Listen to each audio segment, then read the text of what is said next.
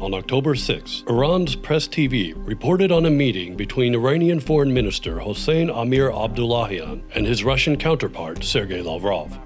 Iranian minister accused Israel of meddling in the South Caucasus region. He said, the Islamic Republic of Iran is deeply concerned by Israel's presence in the Caucasus. Tehran, he said, would not accept any map changes in the region.